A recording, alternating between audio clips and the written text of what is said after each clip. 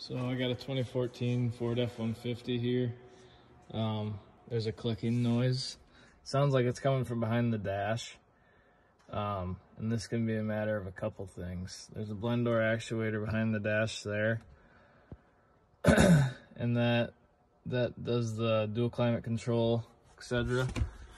This one, on the other hand, is the door actuator um, for the mode selector.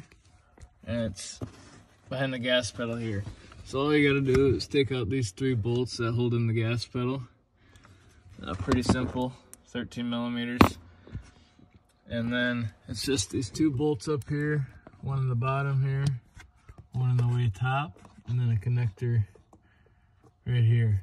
And oh, way to check this. Just put the key in the ignition and open the door, and usually that cycles the mode. And if you hear the clicking, put your hand up on there and you can feel it.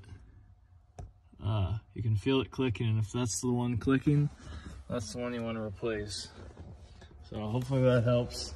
Some people just jump to doing the blend door motor, um, but sometimes it can be that mode actuator also. So.